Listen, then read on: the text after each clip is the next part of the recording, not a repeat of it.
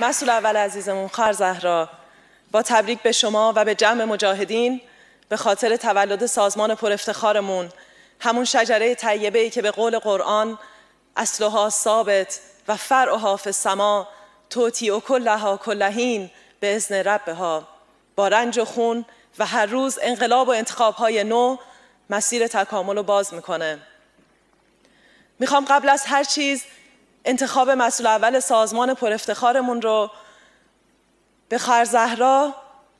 سردار صبر و زفر و به همه مجاهدین و کانونهای شورشی و مردممون تبریک بگم. این انتخابی شایسته و اسلحه به خصوص که تو این شرایط حساس که سرنگونی بیش از همیشه در دسترسه و خامنه ای با روی کار آوردن سرجلاد 67 در حزیز سرنگونیه. ما شاهد بودیم که تو این دو دهه خرزهرا با عنوان یا بی عنوان مسئول اول همواره پیشتاز میدونهای نبرد و آموزگار مبارزه و انقلاب برای ما بودند. از نبرد سازمان برای خروج از لیست تا پرونده 17 جوان تا هجرت بزرگ خواهر زهرا اولین نفر حاضر توی هر جمعیه که اگر خواهر مریم ده رو می‌خوان صد و هزار رو محقق می‌کنه ما مجاهدین منت برخورداری از انقلاب رهایی بخش خواهر مریم رو داریم و به یمن این انقلابه که همچون خواهر مریم هر نفس اون رو با قیام مردممون و درد گورخوابها و زندانیا و زنای بیپناه و کودکای یتیم پیوند زدیم. رو در روی جاه طلبی و استثمار طبقاتی و جنسی که سمبلش رژیم آخوندیه. و توی این نبرد نگاهمون به خواهر زهراست بدهکارترین شنواترین انتقاد پذیرترین خلاقترین و تبلور ای مساویس امسدوه خواهر زهرا شاخص یک مجاهد تراز مکتب و آرمانگراست. و منم می‌خواستم از این فرصت استفاده کنم و به خواهر زهرای عزیزم با تمام وجود تعهد بدم که با هژمونی پذیری از هزار خواهر مجاهدم در شورای مرکزی برای اثبات تعهدات سرنگونی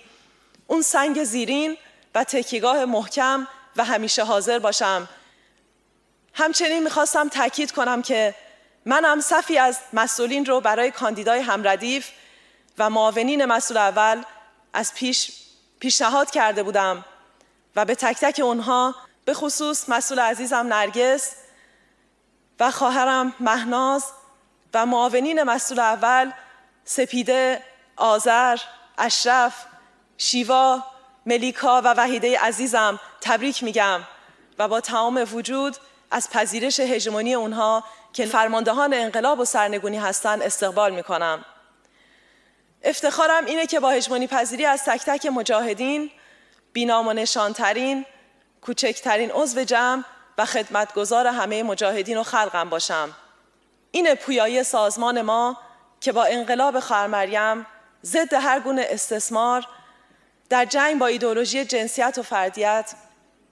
رایحه رهایی و جامعه بی طبقه تویدی رو برای مردم ایران برمغان خواهد آورد. در رابطه با مسئولیت جدید که تماما از خون شهدا و رنج اسرا سرشته شده مطلق خودم و زی صلاح نمی‌دونم اما با تمام وجودم و با تکیه و پذیرش هژمونی خواهرانم توی شورای مرکزی و برادران مجاهدم تعهد میدم که امین و پاسخگو باشم